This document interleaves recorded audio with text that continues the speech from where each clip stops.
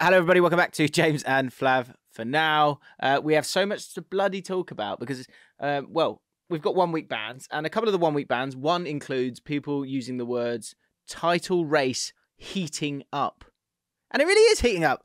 Flav, it really is. Yeah, it is. Heating up. It's getting hot. It's getting spicy. Um, we can have a we can touch on uh, Eddie Howe.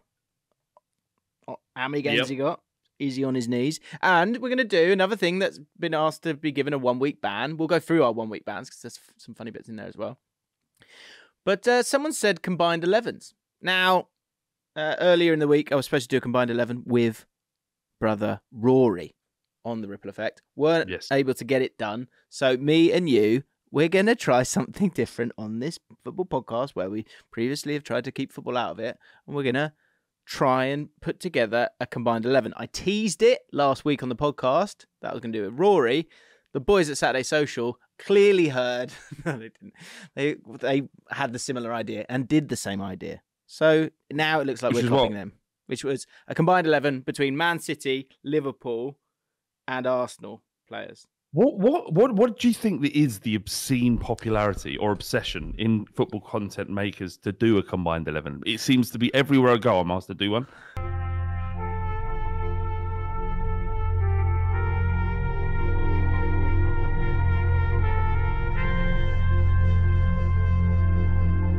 And and do you know what what it is? Is they know. I've never asked you to do a combined 11 before now. No, Just to I, say. I, I reckon I've done seven this year. Really?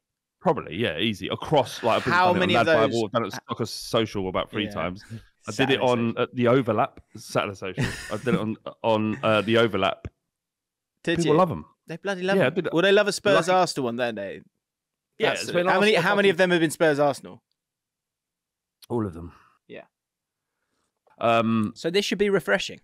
this be one was good. This one was good, Jim, because I didn't have anyone to argue with me. I just got to say it to the camera, so I just picked who I want and then walked away. Oh, really? That is good. That is good. yeah. And this one doesn't involve Spurs, which makes things easier. Then I can have an I actual think, well, conversation it. about I it. think you're going to enjoy this. I think it's good because I think I actually have no problem with a combined eleven. I think the problem is when you support the team within the combined eleven.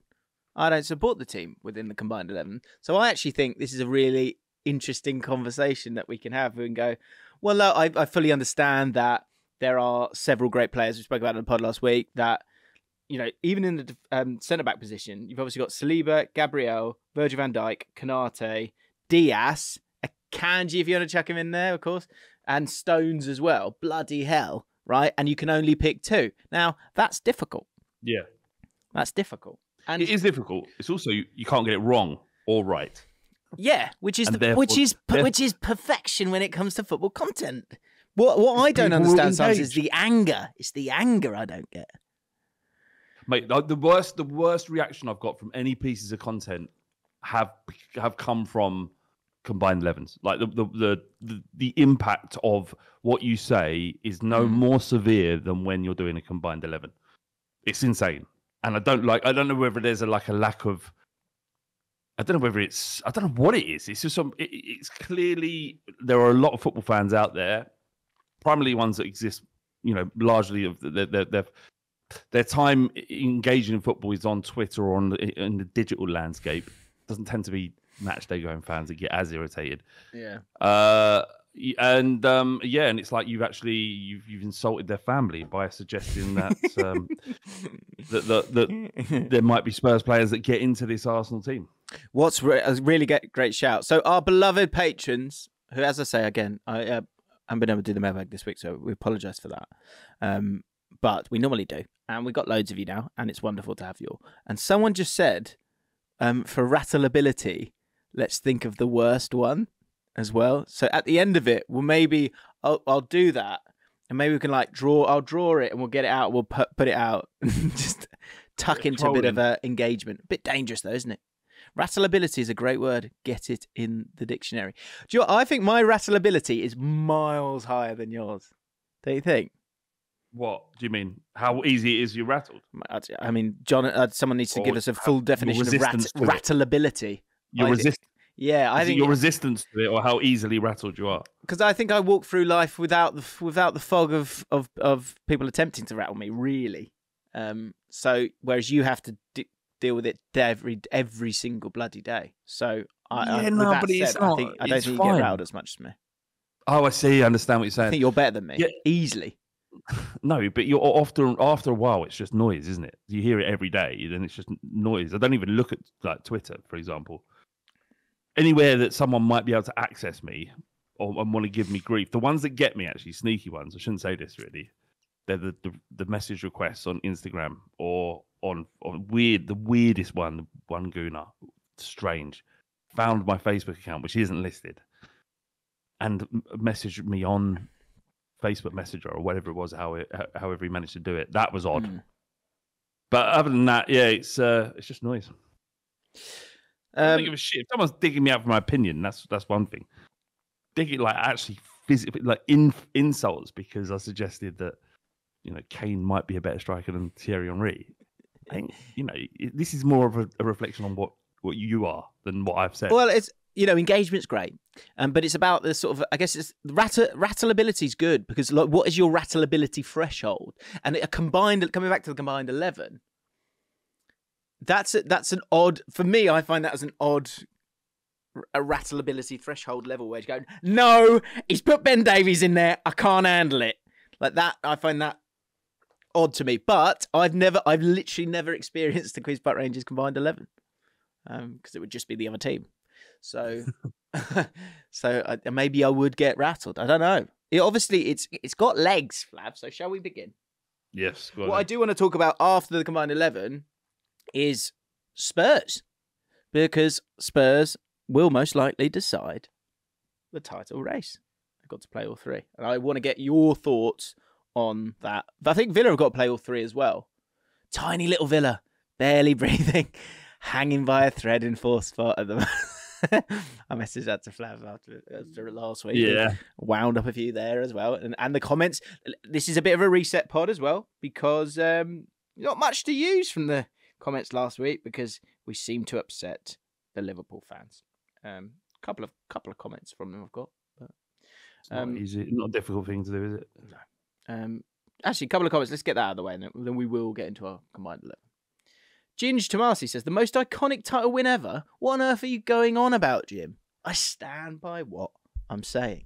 What was you? What did you? What was your point? can't I said that. So whoever wins it, aside from the Aguero, like obviously in in a moment, and we don't know what the final day is going to be like, but I think it will go to the final day, and I think we may very well have a title race with three teams who can all win it on the final day. That's a, a very real possibility right now, and if it does, and you've got the guy on the up in terms of Arteta, fine, you know, building something and then falling and falling and then finally jumping those hurdles to beat possibly the best team of all time, hot off a treble, probably on its way to a Champions League final. And you've got Liverpool with Klopp leaving. All three of those contenders, one team going for four, four in a row, one team trying to say goodbye the right way with their, you know, for Klopp. that is iconic, is it not? Whoever wins it. Yeah, I can understand why you're excited about it as a fan of football. From my perspective, it's just Man City. Make make sure Man City wins it, and, and that's it. Is it less Um, you, you know, Is it not the most if- iconic title win if Man City win it? Yeah, because it'd be four in a row, which hasn't been done. That's correct, isn't it? Yeah, not been, well, certainly not in the Premier League era. Uh, you got Liverpool, who Actually, I don't think it's ever Yeah, been done. Full stop. Full stop. Okay. Yeah. So what's the least irritating for me? That's how I look at it, right? So you got Manchester City, they you know, it'll be iconic, like I say, four in a row. Liverpool, I mean, it's gonna be bad enough having to suffer the constant fucking news reportage of Klopp leaving. Add to that a Premier League total on top, that'll be awful all summer. We'll have to listen to that shit. And in Arsenal, for personal reasons, is something I could never, never palate. The only thing that Arsenal could do the only thing that any Arsenal fan could ever do to me or say to me that would have any impact would be if their team legitimately wins the league, and that's that's something that you know you can't deny as a Spurs fan. Yeah. So um, yeah, Man City all the way. Let's let's all hold hands and pray that that um, the juggernaut nation state backed Manchester City, who've uh, cheated their way to this position by um, you know breaking and stamping on the foundations and the fabric of our game, win the league for the good of it. But I think the important word that you're forgetting here is allegedly. That's the important word that you're forgetting here, Flav. Mhm. Do you know what that was? Do you know what that was there, Flav? Legend. Oh, what? That was a little Because- line from the overlap. And I think I speak for everyone when I say, what really happened on the overlap last week? Quite a lot. Um, Let's start with the Uh, important, important stuff. Harry from Traitors. What's he like? lovely. Lovely bloke. Really lovely. Yeah, even Yeah, his Chelsea. he was. I didn't even talk about that. Just talked about the show. I didn't know he was going to be there. I just turned around the corner and he was there. I was like, ah, fuck, my wife loves you. Um, see, I, uh, I thought, you know, do you want to be kind of cool? And then I thought, I'm like twice his age. I can go. And, I'm just going to speak to him and find out about what actually happens at, when when they What- record Straighters. What? re- So tell me, what really happens on Traitors? I'll tell you after because like there might be people, Ah. the thousands of people not watching this who don't even know what it is. Anyway, They do. Uh, what Traitors is. It's fantastic. It's a great format, Flav. It's a great format.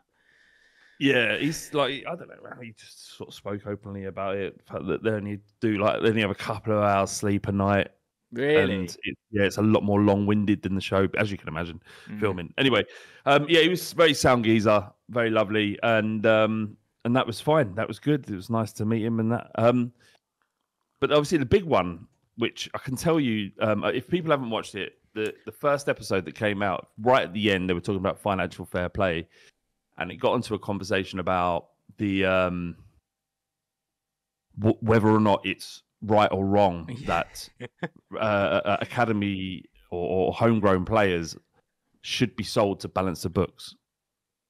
And I was listening to it, and, and, and this basically resulted in a back and forth between me and Jamie Carragher. yeah. Who's had a t- who's had a On- bit? Who's had a had a hectic week, isn't he? He's had a hectic. Yeah. week. And but the, the the weird thing is, is I was saying it doesn't. It's not about right or wrong whether or not a player should be sold.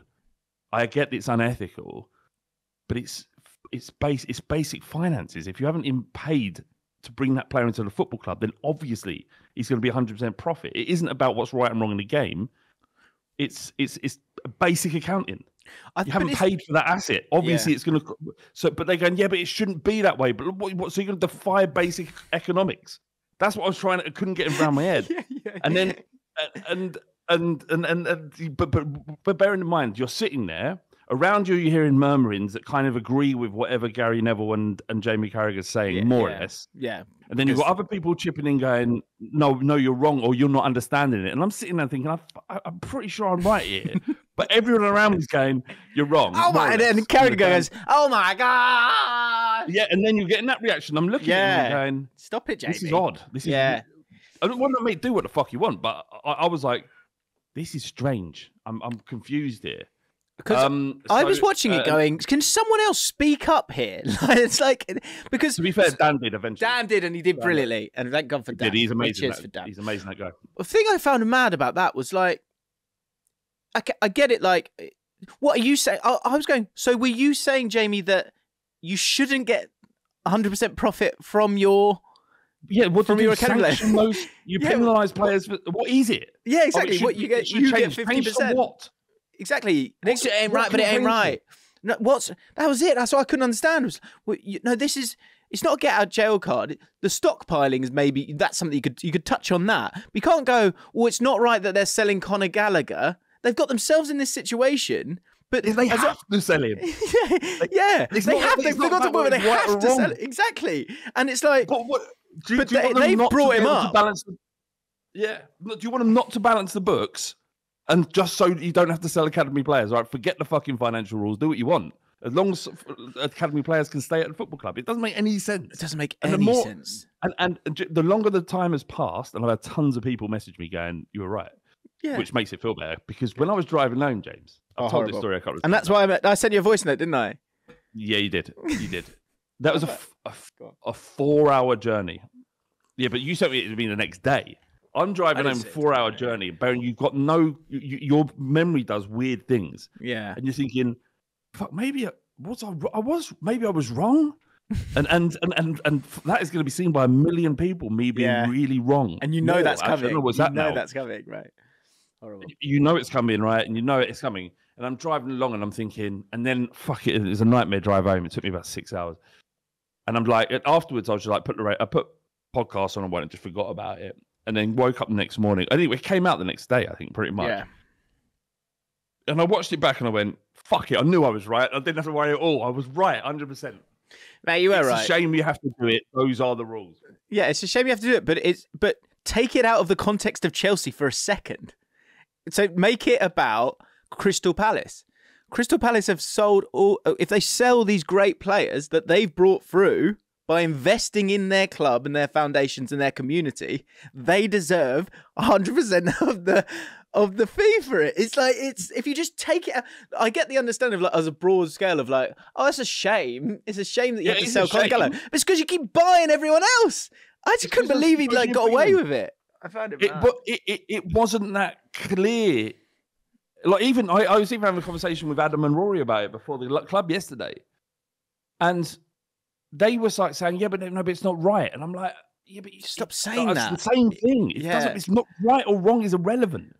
It's it's you you haven't you haven't had to purchase that youth player for 50 million pounds and therefore when you sell him for 70 million pounds the profit is 20 that's what you can put on your p&l list sheet but It- if you haven't paid for him i.e developed him all of the money you make from him is profit right that makes sense Yeah, so totally. whether it's a shame or not that you've had to sell that player is fucking irrelevant It's so weird.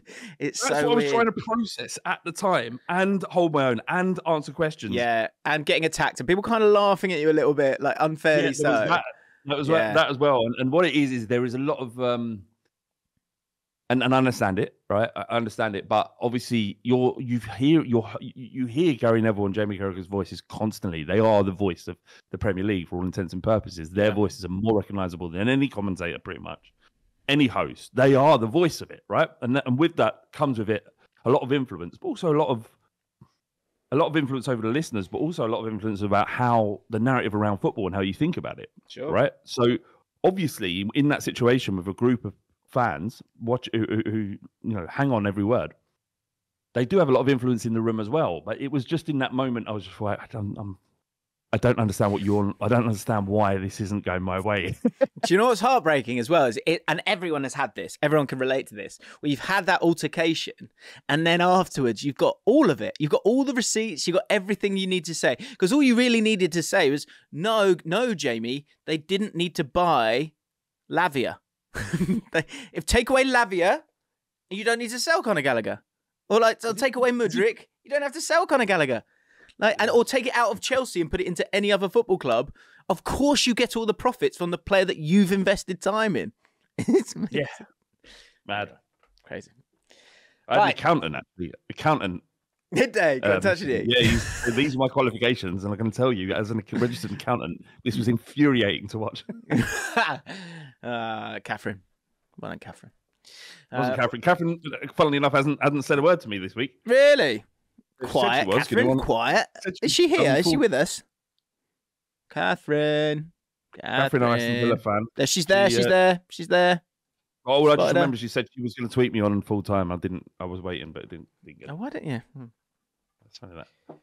Yeah, disappointing. Uh, What was Emery thinking though? Like, just could just hands up. You're Excited about better this team combined than eleven. We'll get there, guys. We'll get there. Yeah, we will get there. We'll just get quickly, just on Emery and and he, he's been fantastic. This well since he joined Villa, incredible, right? Done amazing stuff. But when it started, I kind of get the idea that he was like player back five or even back five. Yeah, player back five, and then hit him on the counter. But the minute it was clear that it wasn't going to work from minute one, and it was almost like you've got the firepower and and and the player quality to make a difference here, and it just played into our hands. Got it completely wrong. First half was okay. Second half, the best we played this season probably. Do you know what was a great? Exa- you know, we said before. I think you had this as a bit of a rant where you were like, it, "You can't talk about refereeing decisions if you support the club. You're not allowed. Not, Yeah, you're not, not the, allowed. Not the podcaster club. The uh, the, the actual club uh, uh, in discussion. Uh, I don't want to hear a Villa's fan on whether it's a red card or not. Because I, and sta- on the I honestly, I was token, on You don't Twitter. want to hear mine either. You don't want to hear Yeah, mine either. right, right, right. I started to read Dan Bardell, big Villa fan. I've had him on my pod. Good lad. I started to read a tweet from him saying it's actually not a red card, bec- and I just stopped reading it. I just Doesn't like, matter oh, I'm what- sorry, I'm not doesn't matter. it. Like you're learn. I know Dan, right? I know him well, and you know I've, I've, I've been on him a few things. He is he is one of the best out there. Very very good, right? It doesn't matter what your opinion is on this, Dan.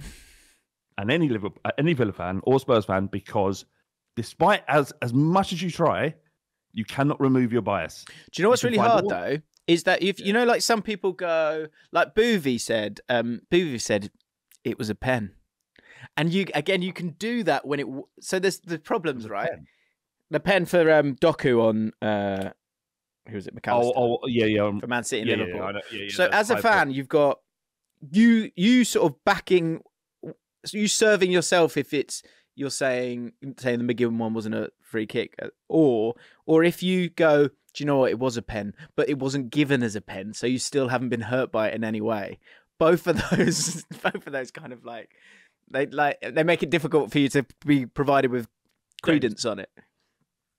James, It's tough. It's tough world. you have no dog in the fight, right? And I'm happy to take what your opinion is, and I don't know what your opinion is. You might have said it previously. Do you think the red, John McGinn red card was a red or, or yellow? I thought, I thought in 2024 it was clear red. I thought in So, no more. 2010 well, it wasn't. So yeah, he's fucking proper whacked him. it's bad. It's pretty bad. And- It- and the, I- the- the I problem was the problem was he didn't give himself. McGinn is an incredible footballer, massively underrated. Really, really is underrated, and um, and uh, you can absolutely understand why he's captain Aston Villa. Yeah. nothing about that challenge is the track detracts from his abilities. Um, and even like I'd I I would genuinely love to see him at Tottenham. Not that that's going to happen, right? But the problem is in that moment, what regardless of whether or not you, you think it's a red card, he lost his mind because he saw Destiny Udogie dr- drift into midfield. Yeah. He knew he kind of had to take him out. You can do it in a way that's a little bit cuter than just fucking smashing him. Yeah. Yeah. I agree. And the thing is, if Udogie, if Udogie, if Udogie comes away with that with a fracture, or it's going, well, it wasn't a red card, but Udogie's out now for six months Yeah. or whatever it is. So you can't go into a challenge that that um frivolously. Yeah, I I think nowadays you can't you can't munch people really. Like you can't and you can't get away with that. Uh, and he was, you know, yeah, he was his his ratability was low. Right, combined eleven. Here we go. Yeah. First up, and we'll have chats along the way. So get yourself comfortable, guys, and and feel free to play along at home, patrons. Alisson, we've got some stats as well here. Alisson with a save percentage of seventy five percent, and his uh, save percentage uh, against his xG is in is in a good state. It's plus 0.9. If that may, means anything to anyone. David Raya, save percentage 63%. Bit of a drop off there, minus 2.5 for his uh, PS times xG and xG. And Ederson, 69% save percentage. This feels it like an easy one. I I have Alisson in mine. I'm gonna have Vicario in mine. Ye- okay. Let me explain it again. I'll explain it one more time. Combined 11, right? Son get in. Only with, no, it's combined 11. Arsenal, Man City, and Okay. Liverpool. All right. But, So but, but isn't this, shouldn't, shouldn't this about, about a combined eleven of title challengers, not just the top three? It doesn't make any sense. It's got to be title challengers. Everyone's got to be in this. Are you saying? What are you saying? No, Jim. What am I saying? I mean, sure. I mean, we were talking about iconic Premier League seasons. If they, imagine if you won it now. Imagine if you won look, it now. Does that all- honestly? How's your body feeling now when I just said that to you? Imagine if you win it now. You're getting like, you're getting little No. uh, vibrations there. No, no. I- All I, I just in in response to that, I would say, did we win eight out of ten games at the start of the season? Did we? Yeah. Okay. Is it now that all the players are back and we're up, we're up to speed? Is it an impossibility that we might be able to replicate? Well, you've done it. You've done it once. You've done it once already, Flav. Actually. So, I'm not saying it's going to happen. Obviously, be stupid. No, stop that. Stop that. Stop that. It was a bit of fun at the start of the season. Could we? Um, no. All right. Sorry. Let's get back back on track because people will be losing their minds. Uh, Um, freeway split. It's it's Alisson. the answer's Alisson. with- The correct answer. Yeah, without a shadow of a doubt. Yeah, Alisson. Is a good one. Who's on the bench? Eh, Ray or, or Ederson? You'd have Ederson. I think you still have Ederson. Raya's not there yet. So, do you know what's really interesting? I'm going to uh, literally steal something from my mate Weber, who is a Brentford fan, and he he was saying how wild it was that everyone is loving David Raya now because he saved a couple of penalties, and I I don't sort of disagree with it, but I, I did find it I did find it interesting. Keeps get a lot of credit for penalty saves, don't they? They do. This is their moment. This is their moment. The uh, do you know? Do you know what's a guarantee if you want to play penalty bingo? If if uh, Alan Shearer's on the uh, panel is um, don't change your mind. don't ever change. That's the thing that always goes on about. Don't change your mind. Um, sorry, just a bit also with the Carragher thing, just because it's in my WhatsApp group. Richard Keys weighed in on the Kate Abdo Jamie Carragher thing. I was just like, is that a real? That's not really his account. That's really his account. Richard read- Keys. Richard Keys said, "Have you seen the the tweet? No. The tweet's fucking brilliant. It's so good. He know he has to know. I think Kate Kate Abdo is a top pro. I've no idea what Carragher is insinuating, but he crossed the line again. How many more times? The show is like so many more these days. It's a bit too pally. it was an accident waiting to happen. Abdo deserves much better. Wow. It was a weird one though. It was so weird.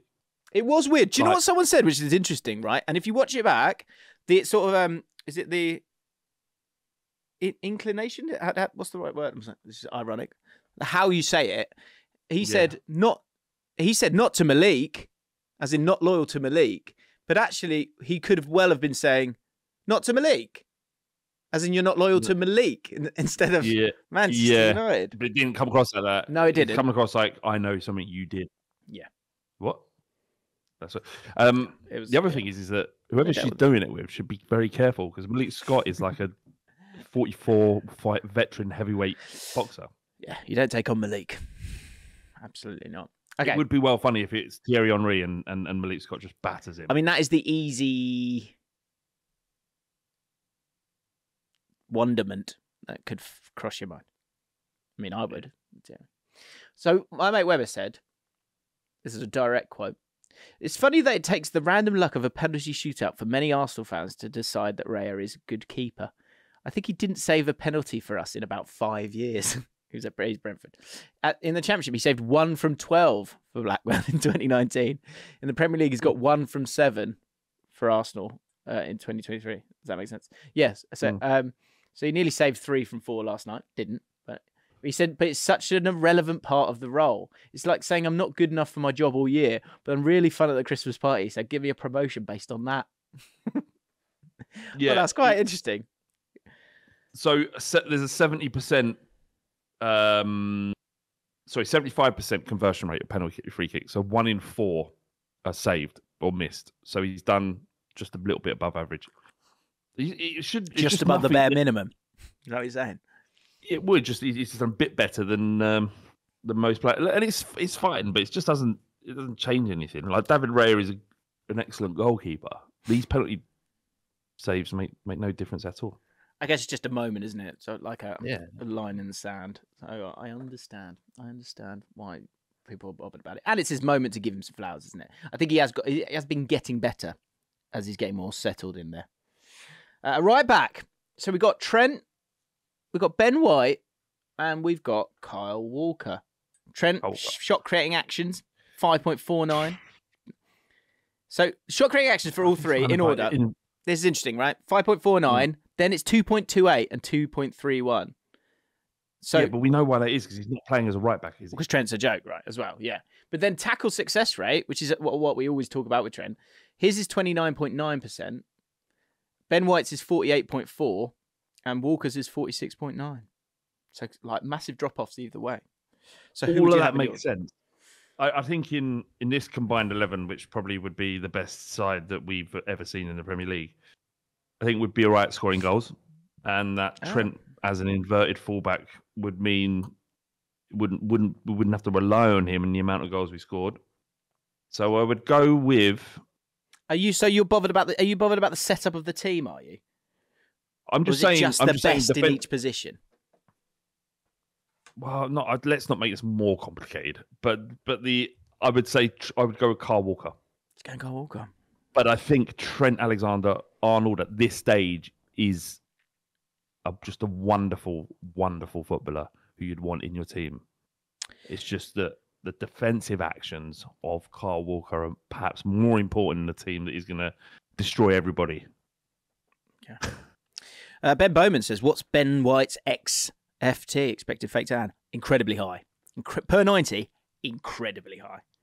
He's got I lovely did write Trent thighs. down first. He's got lovely thighs, lovely smooth thighs. Ben White. If you ever have a look at that.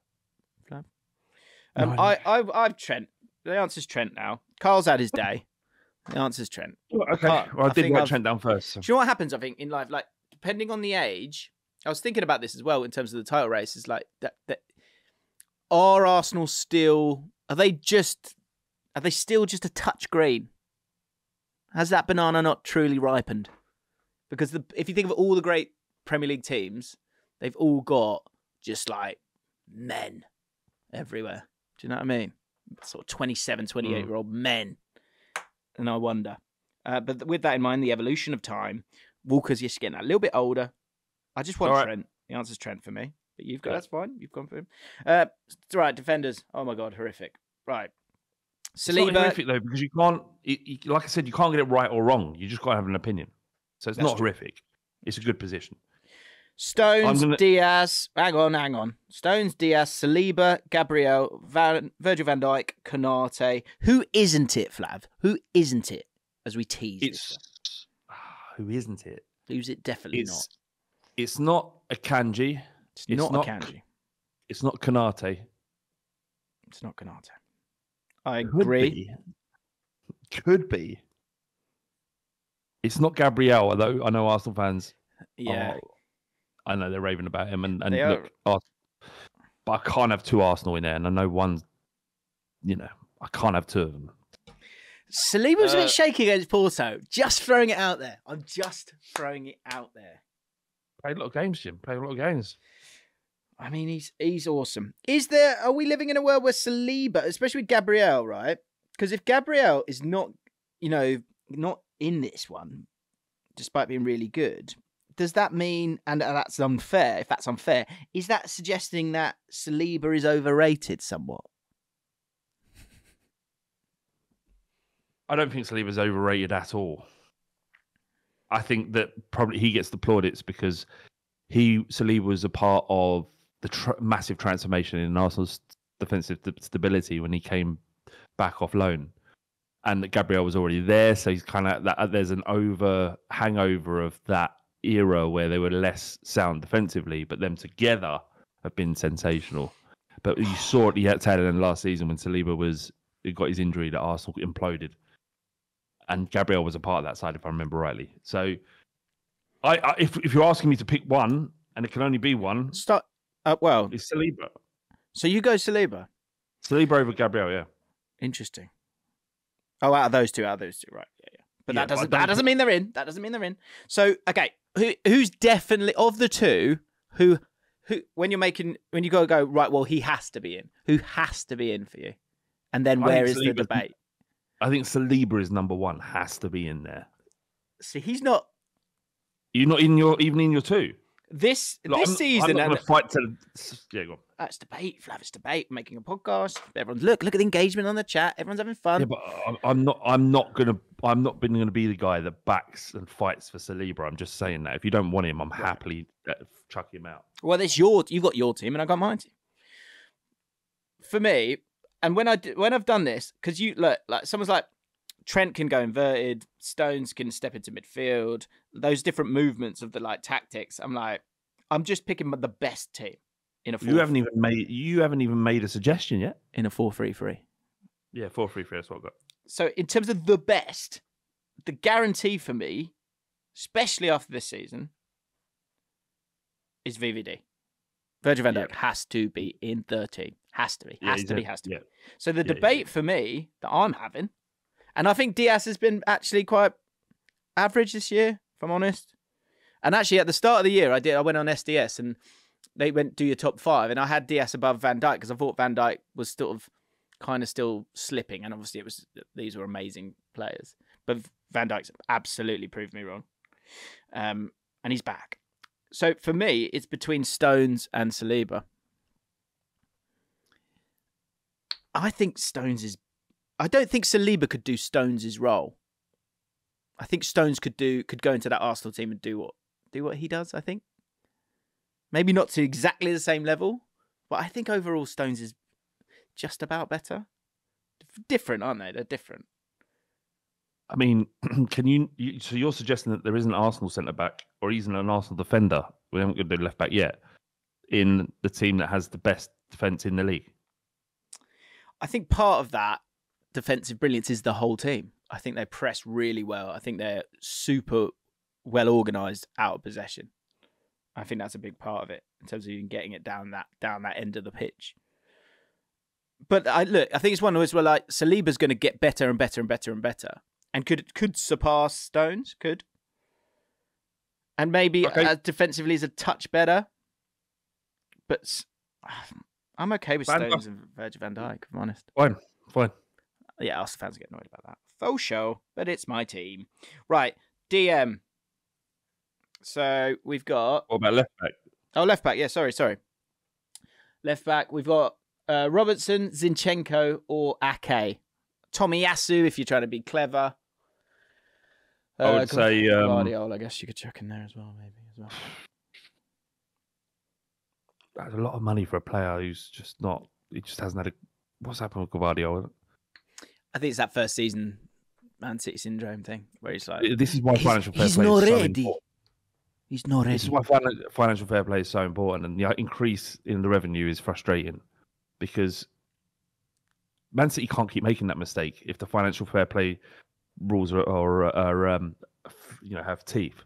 Mm. You shouldn't be there. There should be no world where hundred million pound Jack Grealish is and and eighty million pound Gvardiol just sit on the bench because they're not ready.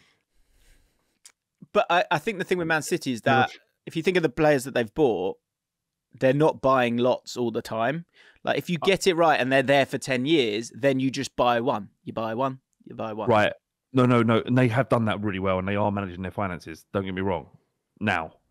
But but the fact that Gvardiol that they can just go, yeah, no, he's not ready. You spent eighty million pound on him. Everywhere else it'd be the worst signing of the season. Flop. Flop. We paid eighty million pound, he's played ten games or whatever it might yeah, be. yeah, yeah, it's true. Uh, That's so but Man. City or, or Grealish, worst hundred million pound you you could possibly spend. Because but because Pep Guardiola goes, you know, this you know, he needs to work harder. It's not a flop. He's just not doing what exactly what Pep, Pep says. No one else gets that grace. Yeah, he's got lucky there. Yeah, you're right. You're right. Anyway, Pe- um, Sorry, people in the chat talking about Joe Gomez. Right, the this Joe Gomez. Right, people. I was talking about England yesterday. Liverpool. This is a bit like, and Catherine, will be- you'll be delighted to hear this. Liverpool fans, all of you, all of you, and I know, and, I- and um, this is dangerous to what I'm doing, but I don't care. All of you said he was trash. All of you wanted him out the door. All of you thought he was he was crap. You all thought it and, and I'm sure like the chat's going to come alive here. You all thought it, right? And he wasn't that bad. He just hadn't been playing enough, and he was struggling with his confidence a little bit, right? He is now playing far far better. He's he's of use. He's great. He's doing well, but he is now not Roberto Carlos, and he's not Trent, and he's none of those players either. He's a solid player who does a diligent job, who's all right defensively, who's just about okay on the ball. He's good. He's great. He's solid. He's not. It's like outrageously good player now. Okay, he's not better than Chilwell. who we he's not better than Luke Gomez, Shaw. Joe Gomez. He's not better than Luke Shaw. And in this combined eleven, he's He's not not better than Robertson. He's just unfortunate at the moment. Or Ake, or probably Zinchenko. Zinchenko definitely. Like Yeah, I'm, I'm not trying to dig him out. I'm not trying to dig out Joe Gomez. He's great, but like he's a, he's Ben Davies. He's Ben Davies. He's a good player who's great for the squad. You can play him in different positions, but stop saying that he's like the next coming of Christ. He's not. yeah, no one's keeping Joe Gomez if you have the option of have if, Andy Robertson is fit or if if Ake you had the option to sign Ake. Joe Gomez doesn't come into the question. Let's just pick Ake then. We know it's him. Oh, I think it's It's Robbo. I'd say that's an out and out left back. I'd pick Robbo. Really? Yeah, I think I just think he's unfortunate that the the way football is at the moment, people don't want a left back at left back. He's still the best left back, in my opinion. but you've gone with Ake. That's fine. Well, we can go Robinson. I no, no. know, but again, again, it's your it's your team and it's my team. All right, we're not trying to do a combined combined eleven. No, no, no. it's A singular combined eleven. right. Um, you went Saliba, didn't you? Let me just jot this down. You went with I got Walker. Trent, Van Dijk. lo- lots of difference here. We've only got um, one similar, well, two similarities. Oh, Uh, DM. We've got Endo, Declan Rice, Rodri. Unless you want to put Declan Rice as a centre midfielder. I don't want to put Rice anywhere, but if I'm forced to in this, you've got to have Rodri and Rice in the team. I agree. So Rodri's the probably probably the best six in the world, maybe. yeah. Um, and you can't not have Declan Rice in there. So that would be my first two picks. I agree. So I Anyone don't I'm missing that, that could that could walk in? Not People, are- really. people talk about people are going to say, "Yeah, but Endo's been great. He has been great. He's not Rodri. Come on." It doesn't matter whether he's been great. All right, Yeah, we'll give him yeah. his recognition. He has been great. Would you have him over Rodri? No. Then this discussion finished. Yeah. Yeah, if you don't, I, I, know I'm, I know I'm getting a bit aggressive here, but if you don't have a calm decision, fuck off to Twitter, right? This is a different place. Okay. Yep. So uh, we both agree with Ri- Rodri and Rice. Roger and Rice uh, in attacking midfield. Then lots of options. Okay, so the third spot. I'm going to chuck all these names out there: Mac Allister, Havertz, Bernardo Silva, Szoboszlai, Odegaard, KDB. Foden, if you want to, if you want to put him in as a midfielder. I've I got mine in. Um, I don't know. There's only one, but but This is where it gets horrible. There's there's someone's got to miss out. Obviously, that's the whole point. is there a world where you drop Rod Rice and have Foden in midfield? I get that could be your world. Yeah, that could be your world. That's not a world you're willing to live in, though. I don't think that's a fair world. I, I was thinking about it the other day. I think Declan Rice should probably be the player of this this season, this year. If uh, you know, if he carries on with what he's been doing, I think it's been. I think he's been unbelievable. I think he's so important, and I think he's. I think he's going to affect some really big games as the season continues, and I think he's taking the the, the team forward. Um, so I think Rice Yeah. has to be in there. I think with Yeah. Foden, he's he's gorgeous. Like he's just so fun to watch. He's absolutely electric. Um, but in this midfield, the answer's KDB for me. Like it has to be. That's KDB. what I've got. That's what I've got written down. The thing we like, obviously Foden like killed it in the Manchester derby, and so understandably everyone's going to talk about it. And and Guardiola, you know, plays his little games and goes, I think he's the best player in the Prem, which allows everyone to have that conversation for the whole week. Um, He- and and he let's. is. You think he's the best player in the Prem? Currently, currently, yeah, or in form, yeah. He's unreal. He, di- I mean, he didn't didn't do much last week. What you? Oh right, sorry. Actually, Some one, again, I- one I ninety dunno, I minutes. Rule him think out. It- I just Shit. it- I just James down, Allcott, slowed Foden is shit. KDB has been, I think, between now and the end of the season, I expect KDB to make more assists, win more games, people, and he will make his way back to the, the top of the mountain. I would guess he has been their best player this season. I don't think he's been the best player in the Premier League this season. Like his his stats are fine, like they're not outrageous. All right, Um, De Bruyne. so I would go De Bruyne. But I need to get Foden in here somewhere. well, you could put Foden in front three. Well, okay. The left hand side's a problem. So on the right hand side, well, actually, right hand side and left hand side. In the middle, Haaland, right? Yeah. Easy. You know, we like, you know, Darwin, Darwin Nunez. It's great fun, but he's not in this team. So on the right, we got Salah and Saka. Now on Saturday Social, cheated a little bit, and they put Saka on the left hand side. I don't think we should allow that. I think you need to pick no, one. that is that is cheating. He's never he's never played that. He put Salah on the right hand side. You Sa- Saka on the put other side. They put Saka, sorry, on the left hand side. Yeah. What? He plays on. Oh, he plays on the right. Yeah, yeah. So no, you're right. You're right. Sorry, my bad. My bad. I'm looking at it like this. Right, Ollie Sage. Ollie Sage. This seems like a very one-sided team here. No, that's not. That's not true. He's got his own eleven, and I've got my own eleven. Okay, listen, Yeah, Listen. independent of each other. Sage. Is, it, keyboard is, this because he just wants, as a Liverpool fan, wants to see more Liverpool players in there? Is Yeah, that I what, you- you what the problem is? Yeah, You got Van Dijk. What are you worried about? Yeah, you I've got a got- goalkeeper. I've got three Liverpool, four Liverpool. About to be five. Salah Yeah. in ahead of Saka for me.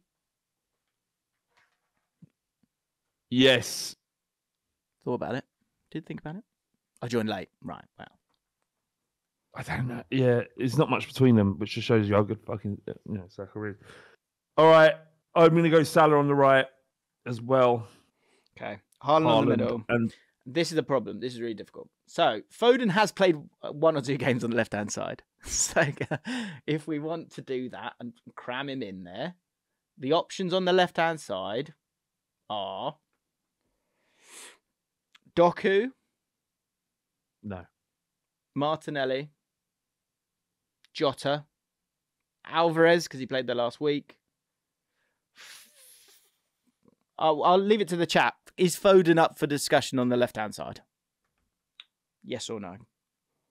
I think Bob, if you're going to be really strict with the Saka not being able to play on level wing, then can you just chuck Foden in there because you want him in? Because that's kind of the same principle, isn't it? Oh my god! What are you talking about? Yeah, They're saying yes. That's a good They're saying yes. saying yes. Saying yes. I actually would. I wish Guardiola would use him on the left a bit more. I thought he should have done that last week. I didn't really get it. Make this a lot easier, wouldn't it? But there were a lot last season. Well, so look, lots of yeses there. There we go. Happy days. All right, well, then go there. Foden. Brilliant. Foden result. Uh oh. Well, Foden or Martinelli then? Foden. If Got you have Foden. the choice out of yeah, two. Yeah, yeah. Um, In terms of. So how many Arsenal have you got in there? how many One, Arsenal? two, three. I've got three. All right, so my team is Alisson, Walker, Van Dijk, Saliba, Ake, Rodri, Rice, De Bruyne, Salah, Haaland, and Foden. My team is Alisson, Trent, Stones, Virgil van Dijk, Robbo, Rodri, KDB, Rice, Salah, Haaland, and Foden. So I've got I've only got one Arsenal player. Oh Can dear. go down well, Jim? Can you go down well? Can do a graphic and share it on socials, yeah? yeah, maybe, maybe maybe leave that then. Actually, whoops. Um, well, there you have it. I enjoyed that. That was all right. No, did we enjoy that? Yeah, it's all right. Enjoy that. It's it's fine in these instances. It's, It's the uh, fine. it's you know like what? I say? It's, Do you know what I found interesting? Um, who's the manager? Casey just said, "Who is the manager?" That's good. oh, oh, yeah, you Gary Neville. Do you know the Doku penalty when he sees it the second time? Oh no! Oh, I think he's oh, gonna give him that one. Um, I would say probably go Klopp. Luke says Flav is dead inside right now. It's all right. It's okay. Uh, are you giving it to. Pep? Isn't it Pep? You give it to Pep. Klopp. Who's been the best manager this season? Arteta, Arsenal, Arsenal are top, aren't they? You Got best goal difference, be- most goals scored, least least conceded, and they're top of the league. Well, it's not a conversation, is it? I think Arsenal. I think Arteta has Yeah. coached the best this year. You ca- you cannot you cannot Well, the Klopp's That you cannot ta- Sorry. you cannot take so much. You can't look at statistics and spend so much time with them, and then not put everything into the league table as it stands right now.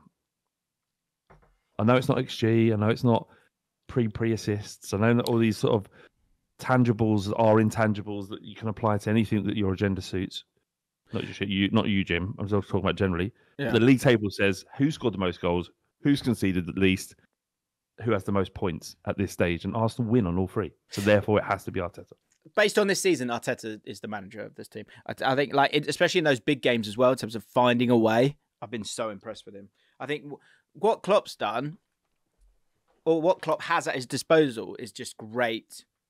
So many different profiles that are all like bought in, and so he's able to change it up. So he's got so much more to use than Arsenal have in terms of like attacking options to change the game. I think, and so for Arteta to do what he's done is pretty bloody impressive. Um, If you're going to win the league, Jim, I think I do think that Porto. I thought the pens was a it was a moment. I did think that. I think it's going to go the last day. I really do. I think they're going to win it. I don't know how much of it's my, you know, my trepidation that's talking here. Answer. I'm going to do um. I'm going to do a, a video like breaking down it all. So I, I'm not going to give my final answer on it, but I, th- I do think where I was with Arsenal, I was Arsenal are starting. Yeah, they are starting to convince me a little bit. Uh, can we talk about Spurs affecting the title race? Yeah. So you've got to play all three of them. Of them. Yeah. Oh, you'll play them, but will you win? In terms of those three games, well, first of all, how's it going at Tottenham? Apart from Ange just being a delight again, I saw It's, it's I mean, it's it's um it's mental. You win two games on the bounce, and you, the entire narrative around your football club changes. Like from from a Spurs fan, you and, and I guess everybody, no, this is always going to be the way because not all pundits and not all know journalists and writers of your football club are, they're, they're not as invested as, as a fan is in, in their respective clubs. Mm. So they they do to some degree have to have to ride ride the wave of results, but they don't tell you everything. Um, uh, we we as Spurs fans understood that there was there were there was a there was a process ongoing that the the injuries had a massive impact mid season, and the victories we were getting at home weren't were you know they obviously they counted, but the performances weren't as good as they were at the start of the season because very good managers figured out actually this is the best way to play against Postecoglou's team, which is kind of what Villa tried to do, which is the low block counter. Um, but yeah, we win two games, have that amazing second half against uh, against Aston Villa, and people are saying, actually saying, uh, there was a conversation, can and they, no, they won't, but could they win the league? That was that was even on, um, I think it was on Sky the other day. They were talking about it. Um, Well, Flav, I mean, you've still got to play Man City, Liverpool, and Arsenal, which is yeah, which is nine points, isn't it? well, you win That'll- them with a game help. hand. That'll help. Well, hang on a minute, that's twelve points. So you've caught everyone up now. Now everyone's starting to get a little bit nervous, and all of a sudden, could they? Um, yeah, I mean, no, they can't. but but uh, will, will we have an impact on on where the the title goes? Then you know, you obviously we're playing them all. If you said to me right now, look, that we, it happened last season in that we lost to Arsenal and then beat City, if you remember correctly. Was it last season? They beat us at home, and then we managed to get a result against City, or maybe we drew. I can't remember. No, we beat them. We beat them one 0 So like, that's a nightmare situation that we we lose to Arsenal and beat Liverpool, and Manchester Manchester City. But we've got our own shit going on. We want to finish in the Champions League. You certainly want to finish at least fifth because that might guarantee Champions League football. So I think four- um, fourth is obviously there for you now. Everything you know, being Villa. I thought I thought I- Villa would do it at the weekend, so I was, I was surprised. it just shows how much you know, doesn't it? Um, Liverpool. uh, Ollie Tate says Liverpool will beat Spurs at home, mate. We've beat, we've won there once in your lifetime. That's not a statement you need to make. Obviously, going to Anfield as a Spurs fan is is likely to be very very difficult. That's the one, but at home it's it's much more much more significant. Arsenal, despite beating us last year, found it difficult to win at White Hart Lane. And Manchester City the same. Even the one 0 win there in the in the in the FA Cup this season wasn't as convincing as you you might uh, expect a Manchester City win to be.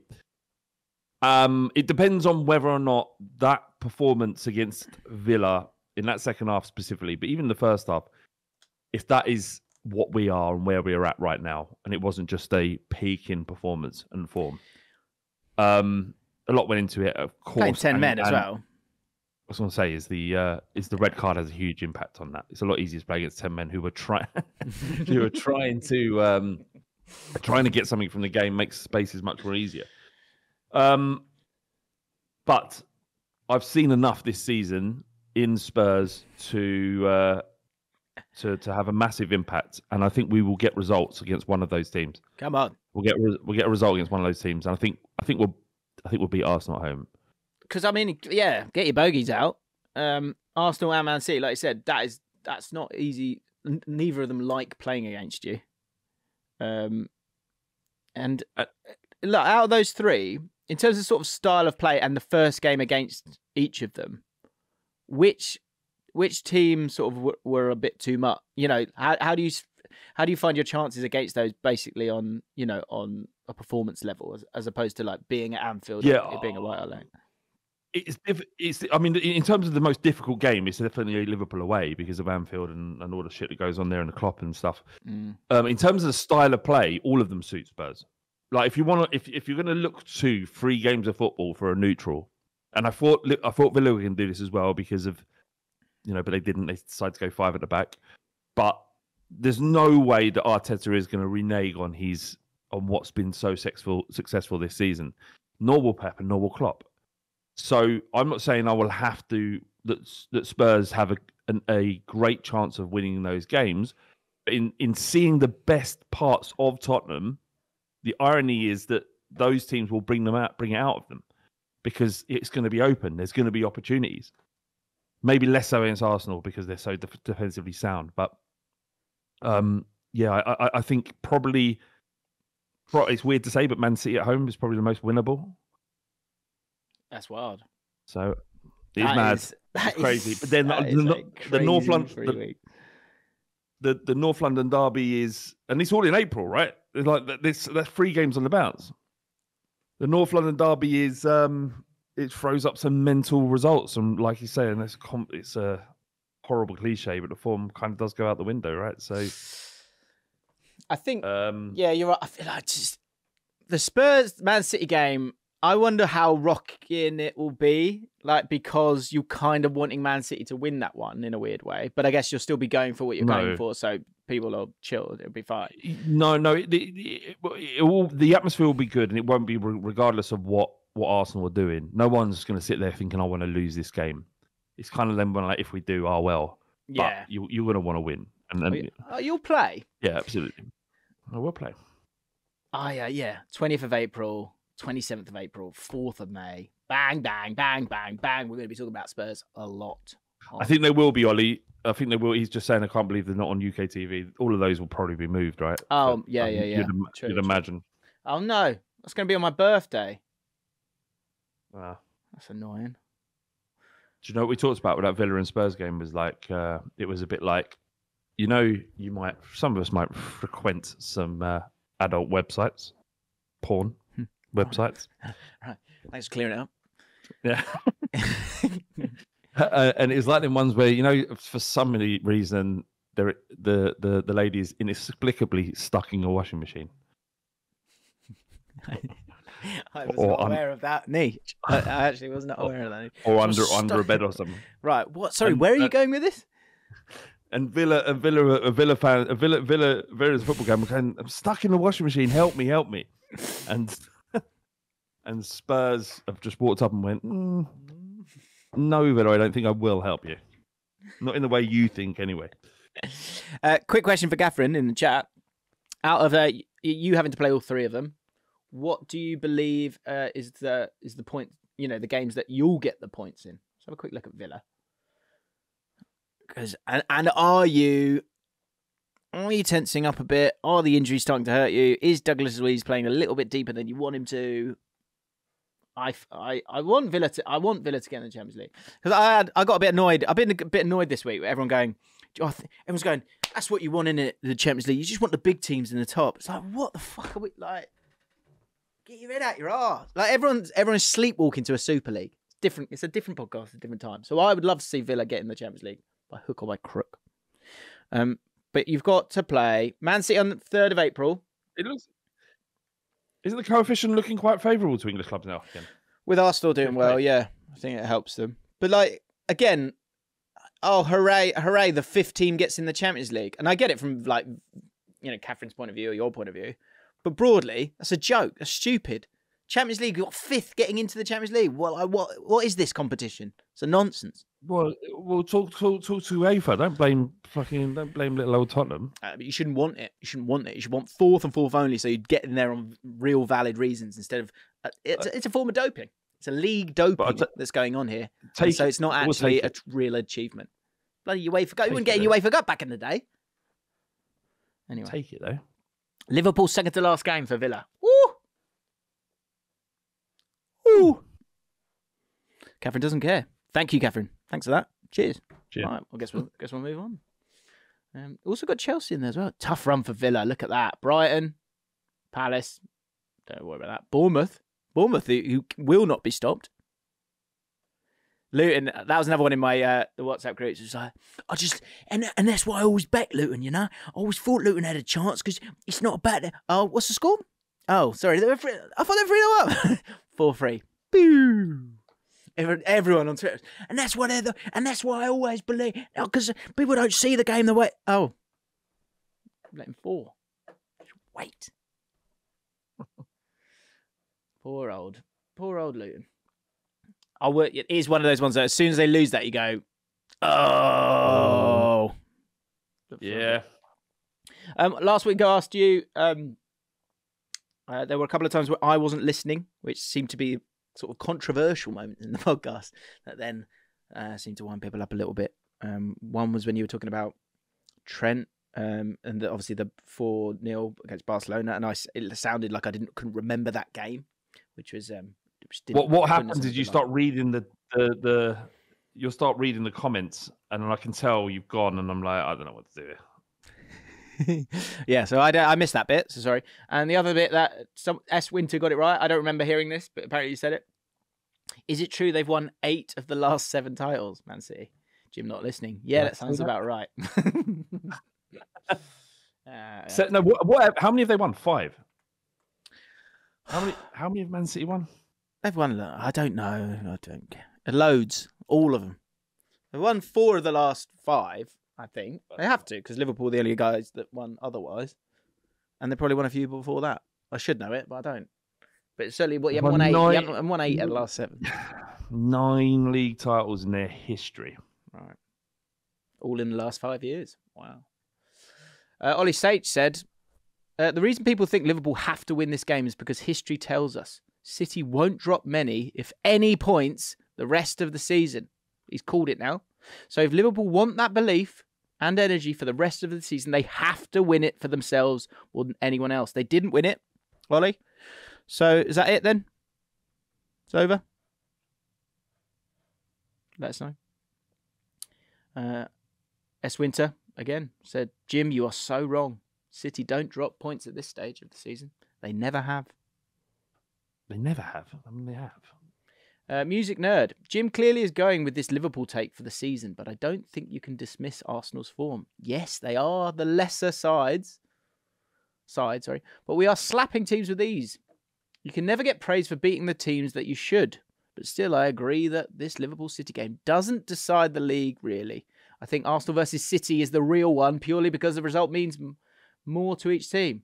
This means more to Man City and Arsenal all of a sudden. Incredible. Uh, and Gurge Um, says if Arsenal win the league, James will have to admit that they're the best team that's ever existed, seeing as it never even entered his mind as a possibility when coming up against teams he makes sound absolutely unsurpassable. He's blinded by this tired narrative of they've done it before when it comes to City and Liverpool. Hmm. There was once a time they hadn't done it before in the not too distant past. So why is it so unthinkable that Arsenal could? If they topple both of these teams, if they topple both of these teams that James sees as clear favourites, not so bad, who he clearly has a lot of respect and admiration for, mostly Liverpool and Klopp, what does that make Arsenal? It would make them Premier League champions. Okay. I just thought it was important to hear both sides of the comments. All right. So that's so. Important thing is, we all know nothing. Uh, this is really interesting. 'cause remember last week we had the point system. yeah. So there was a point system for cups. Uh, so there was this idea that a league or a Champions League is five points, a Europa League is three points, an FA Cup is two points, and a League Cup is one point. And I then said, could someone sort that out for me? And let's have a look and find out who is the best Premier League manager uh, of all time. Now, we've not got other domestic leagues in this list, but it is pretty interesting. Hopefully, you can see it. Can I zoom in? I can't seem to zoom in. That's a shame. Uh, hang on, let me try. Oh, we can. Okay, there we go. So you'll see it on the stream in a second, Flav. No, What? Oh, it'll come up. Have you got the, Have you got the stream with you? I've got the YouTube video. Yeah. Yeah, yeah. It'll come up in a sec. All right. Okay. Actually, I'll just give it to you. Here we go. Bosh. So what was quite interesting about this? I mean, this is a bit of a random list that um, was done for us. Massive thank you uh, to I think it was Devil's Fire. I might be getting that wrong. Forgive me. I have. Um, but according to this, and Champions League really helping him, benefiting Carlo Ancelotti. Carlo Ancelotti is currently a better manager than Jurgen Klopp. Do you agree with that? Um, no. I, I, maybe there's a recency bias, and maybe I'm incorrect, but I wouldn't agree with that. Carlo Uh, Ancelotti not- has certainly tw- not in a Premier score of League. He's got a score of 27. Um, And what's the that based on? the old four Champions Leagues gets him 20 points. He's got himself a Yeah, well, Premier that League, five points for that. That is quite good, isn't it? Four, isn't it? That will help, most yeah. clubs of a dream of. Two points for an FA Cup, it's stuck in there as well. Uh, Jurgen Klopp currently with just a measly 14 points, um, really being undone by uh, the FA Cups and uh, and the, you know the Community Shield not really being anything, no points um, for him at all. Uh, Arsene Wenger has 29 points. Jose Mourinho has 37 points. Pep Guardiola has 48 points. But as much as Pep Guardiola has done, he has 48 points. Alex Ferguson has 89 points. So right, he's still clear, another isn't he? metric. Well, there needs to be another metric. It's like pro rata. There, there needs to be a pro rata metric because he's had. Like, Alex Ferguson was how long was he in the job? Twenty. How, how many years was he managed? United yeah, that's true. Yeah, like, I don't know, felt like 25. Well, 1986. When did he go? T- 2013. Loads of years. Uh, right. So, so uh, yeah. I mean, he uh, did at what point in his tenureship at at, at, at um, Man United did he reach forty eight points? But I love that though because that really does take the emotion away from it, but it doesn't take into account the, the magnitude of the the uh, the um, of the win, right? Because Klopp, Guardiola had lots of advantages that Klopp didn't have, more money to spend. So is there additional value in Yeah. how they won that title? But then consistently winning it over four years, if he does it this this this time, I think that in itself is an yeah. incredible feat. the thing with without Klopp. emotion, Sorry, sorry. yeah. You go, you go. So without emotion, this is a good. This is a good. Uh, good league table. So it puts Klopp about fifth best, sixth. Yeah, currently, yeah. Rafael Benitez just one point behind him. Dalglish just the four points behind him. Currently, currently.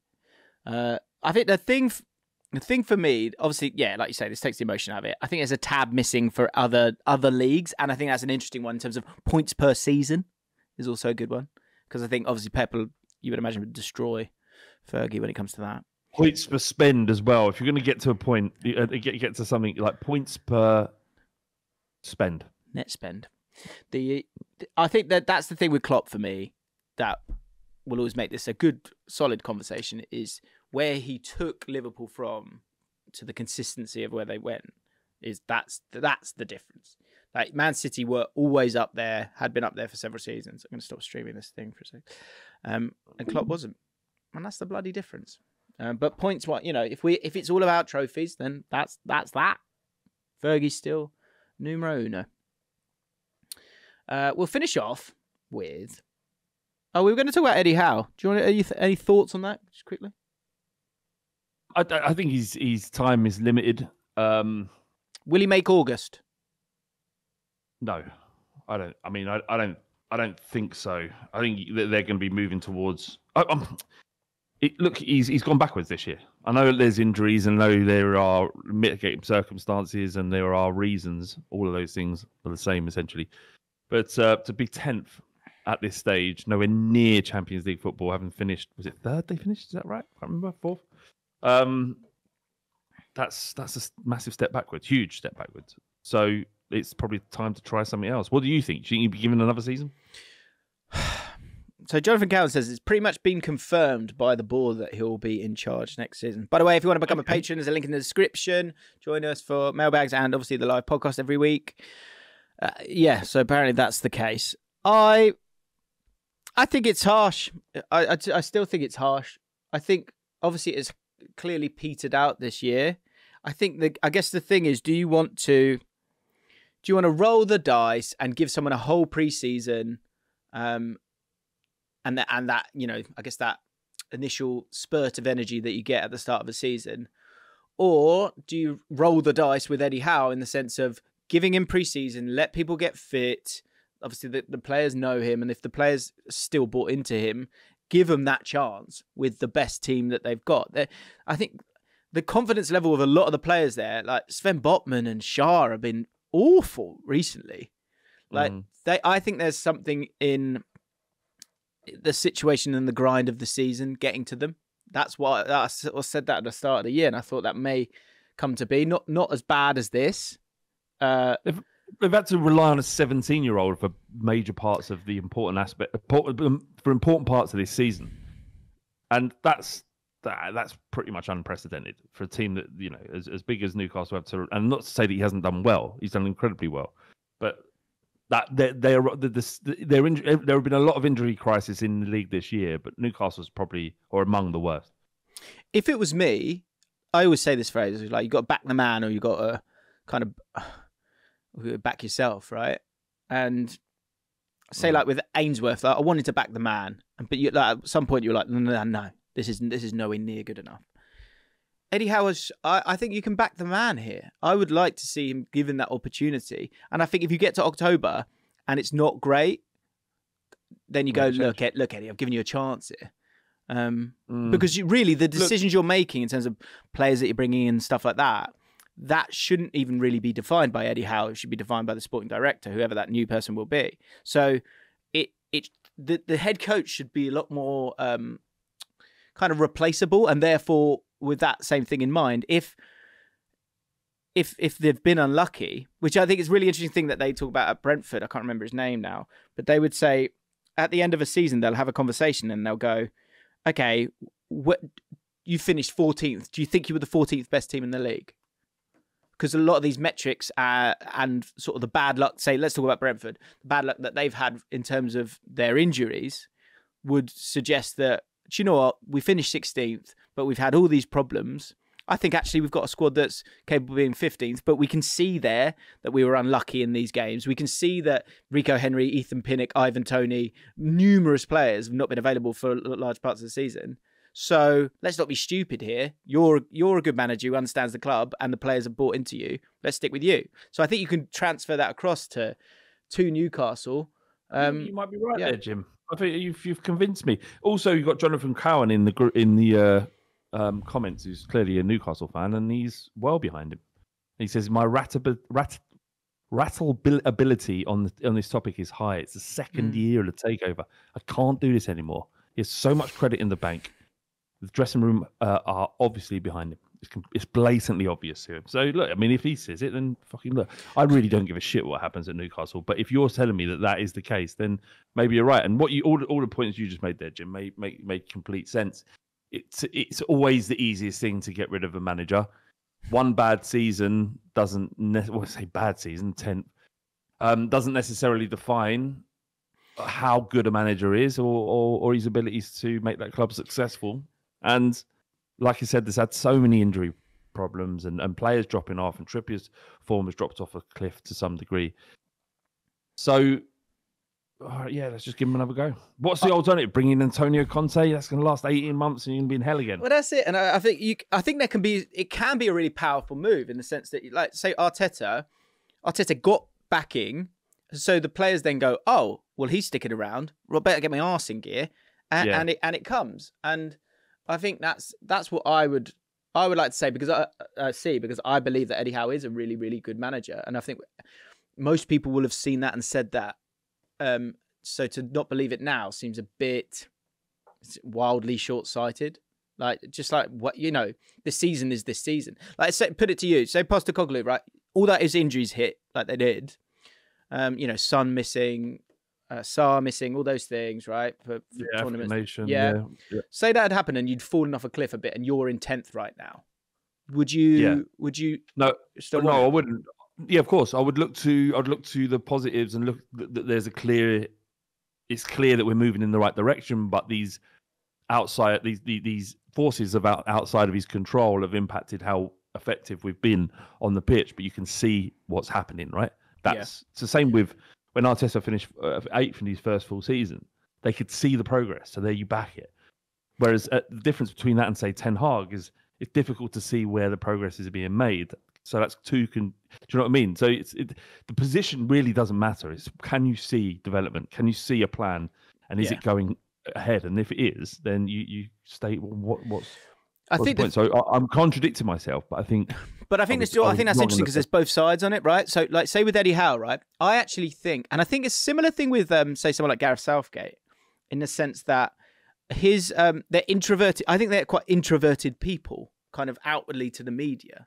They're quite sort of not timid, but like there's this little touch of shyness maybe to them, right? And so with that, I think that that will infuriate the fans that don't connect with you quicker and, and and more aggressively because they sort of don't bite back. But overall, I think it can save you because you don't you don't kind of um, crucify yourself by saying something stupid.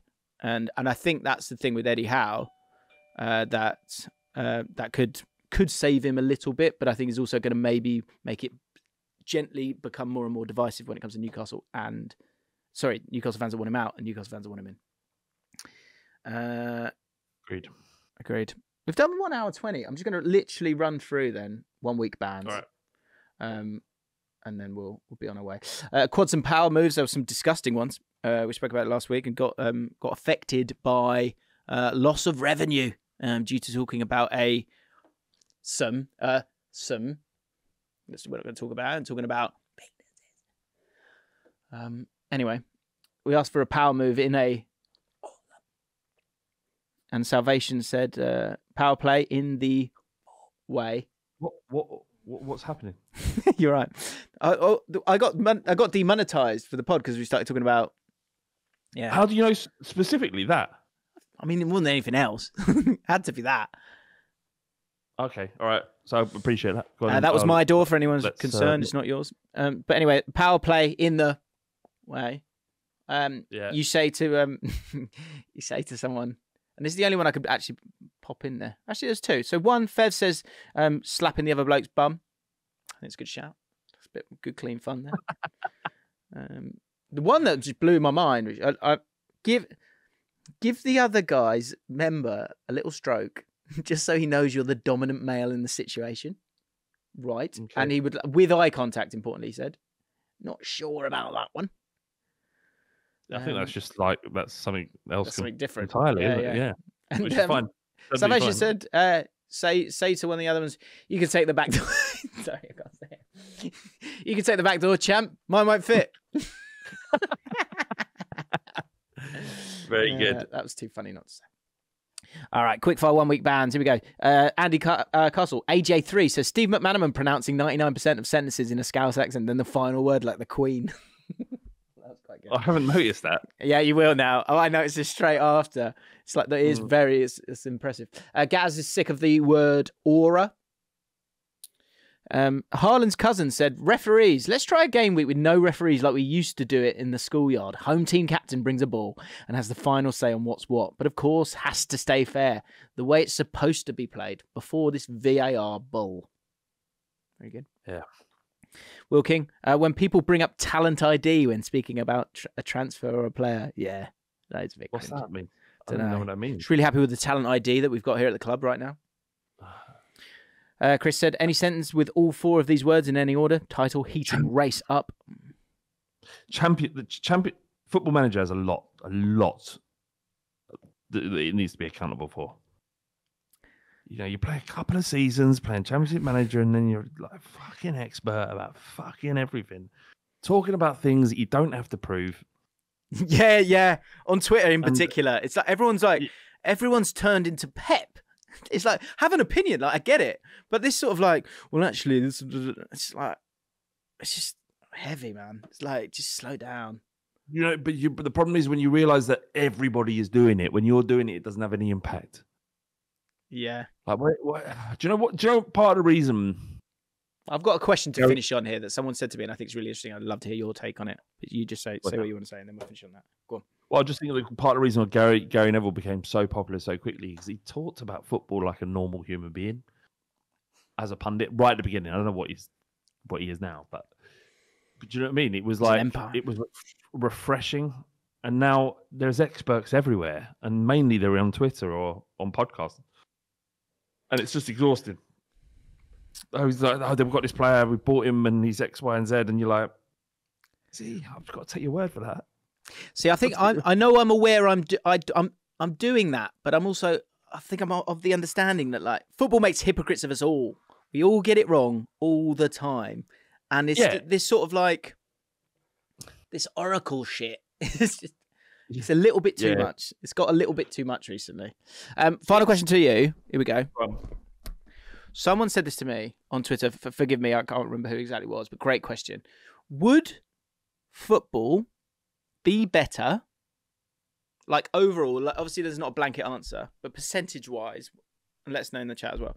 Would football be better overall if we didn't have Twitter? yeah, hands down, without question. The world would be better without Twitter. Do you think? Yeah, it's a fucking cesspit. It shows the very worst elements of human beings. Has it uh, as much as that uh, occurs all the time? Has it also? Yeah. Does it also showcase other opinions?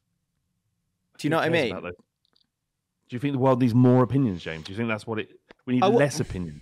Well, I wonder if, like, say, say you're getting a bit like a bowling alley, right? So you've got the right Yeah. wing and the left wing, okay? And and I'm just Jim. I'm just Jim, right? I'm like that sounds like a good point, and that sounds like a good point, and I'm just getting banged around side by side. I'm hoping that at the end you kind of get to a point where like you you know you're in the middle. You can on a podcast, or you can in a conversation. You can in a pub, but Twitter you cannot. It's not designed for that. When did you Mm. ever see when? When do you ever see people back down on Twitter? Like it gets to the point where they're like, "Well, if I'm can't win here, I'm going to just insult you." Or it's like there isn't going, "Oh, do you know what? I haven't thought of it like that." No, you're right. It's not Twitter isn't for that. It's not No. for back and forth. It's a one way, and, and you move on. And bearing in mind, people are having constant having conversations about various different topics. They don't have the time or to, to to think about things on a nuanced level. Some people do, but the vast majority you'd imagine just bouncing around arguments on Twitter. So they'll just say, "All right, fuck, that's annoyed me. I'm going to say something that's going to annoy them." Bosh, that's that done. Next person, next argument. And then in football, you've got you're doing that with about 15 different things as well. And it's even worse for you, Jim, because people are directly sending you their opinions all the time, even if you ask for them or not. Do you know what though? The one thing I'll say. So I sat down with Rory for the pod, and he said, he said, I saw your tweet about questions for you know about the title race, and he said, and I, I looked, I was reading it, and it was sort of people were really they thought it through, and then they said they said really great questions, and I was like, yeah, yeah. He went, does that happen a lot for you? I was like, yeah. I mean, generally, if I like, that's why I use you know often use Twitter because I can get more interesting, com- you know, What- canvas what- what good opinion. That's kind of how I use Twitter generally is to ask a question and hopefully get a considered response back. And he's like, "Oh right, oh." it's like, wow. It's obviously a Well, different he not- experience for him. Does Rory not get that though? Yeah, different energy. Yeah. I think he just gets like, yeah, he just it gets a different energy. That's true. Yeah, grief. Uh, Thomas says uh, Twitter can be awful, but if we didn't have it to talk generally to nice people about football, then uh, where else? Then where else would? Where where else would we with such ease? That's a good point. Harry Adley says Twitter brings people together, and Luke says he delete he's been off Twitter for about six months and I don't miss it in the slightest. Interesting. Okay, okay. Um, enjoyed that. I hope you did too. If you want to spend a bit more time mate. with us, then get on Patreon and join the lads. Um, have a great weekend. Come on, Queens Park Rangers. Um, Uh, what what yeah. what have you lost in here? Middlesbrough. Yeah, a bit tired. Well, Could have gone a different way. Could have gone a different way. We still believe in the boys, and I, I hope I hope it all comes back together. But as you say, t- two two uh, results one way, and then two results the other way, and, and obviously I'm going to be back in the doldrums. So come on, Rangers. It'd be fun. Okay. All Right. right. Have a great weekend, Yeah. everyone. Lots of love. Bye. So, mate. Bye.